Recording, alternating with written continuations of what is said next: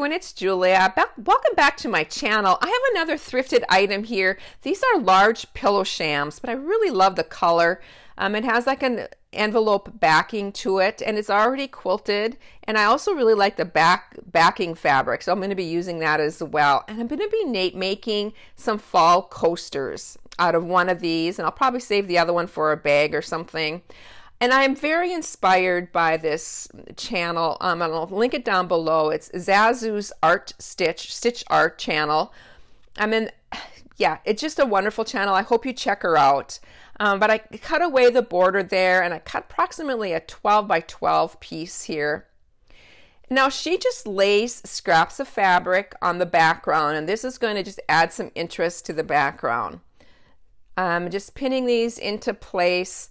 I'm going to be making four coasters, so eventually this will all be cut down. But this again is just working into a larger piece here and just forming another interest to the background. You want to have your bobbin, bobbin up. You don't want to have a nest of thread on the back, of, back side of this. I am going through my backing layer too, so I do have a sandwich made here and I am just free motioning a design on this. Just a random kind of design. I will be um, cutting some some portions out of it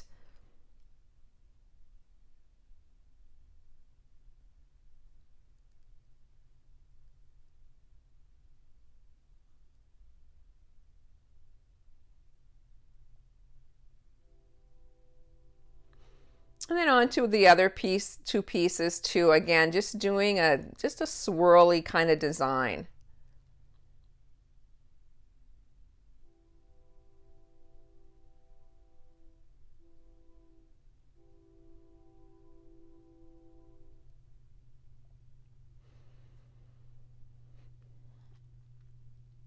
And now she cuts the fabric away using just a sharp scissor and just um, she cuts approximately so that an eighth of an inch or three eighths of an inch is still showing. I'm being careful not to cut through any of your stitching.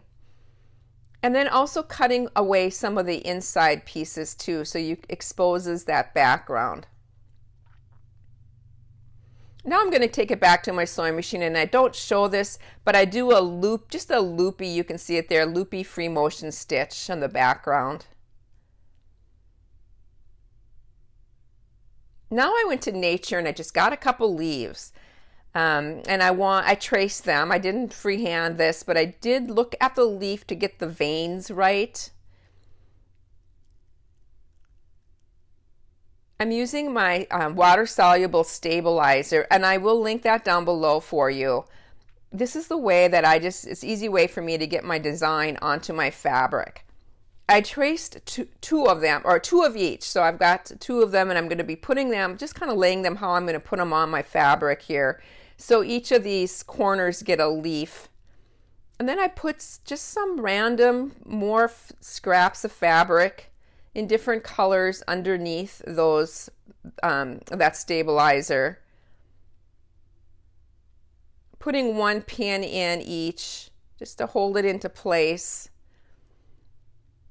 And then I'm going back to my sewing machine and I am just right on the line as close as I can get free motion stitching these. And I do go over each of the leaves twice. She just wings this. She does not um, in the video. I hope you watch her channel, but she doesn't use the stabilizer. She just uses a lot of chalk, um, which is, and she's very, very good at, at just her artistic free motion. She just kind of wings it. And i'm not there yet. I that's the reason why i really like the stabilizer just so i can see my design a little better.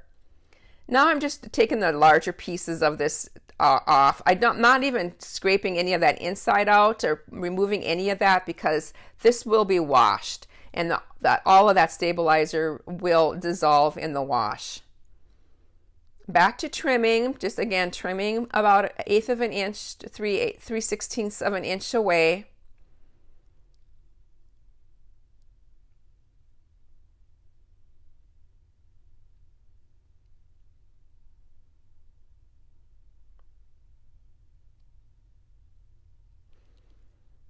Now this whole thing gets thrown into the washing machine.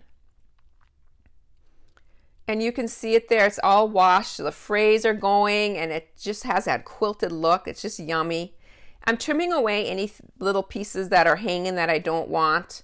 Um, your lint roller is your friend here too. You just, as I trim it, I just take my lint roller and I roll it just to remove any of that. Trimming the edges as well. And then cutting this, just cutting right down the middle, just forming my four coasters. I don't measure this. They're a little off, but I kind of like that wonky look. And approximately four inches by four inches.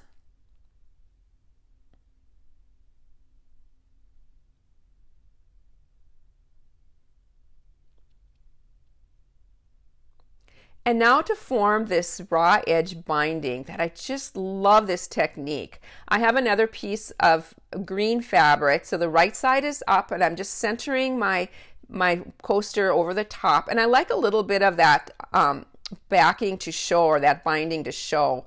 Um, just so I'm making sure I catch it. And stitching around the edge and I do stitch that twice really close to the edge. And then, then I can trim off that, that backing or that binding kind of cleaning up the corners a little bit. And then I'm slicing this and I'm cutting out a square, leaving about, about an inch all the way around. And that I don't waste that square, that'll go right into my scrap bin. Um, and then poking out those corners, just using a paintbrush handle to get those corners poked out. And then ironing or pressing from the back side. She uses a lot of steam and presses from the back so you, she does you don't smush those that um, fuzzy or that raw edge look in the front. And then back to my sewing machine and I'm again using free motion but you you can just use a straight stitch for this as well but I would give it a little of a of a wave. I am doing a, a, a wave and I will go over this twice and the second time around, I'm not concerned about getting on the, the same line. I just kind of want a, a wonky wave. And here's what it looks like. And then it's back to trimming this away.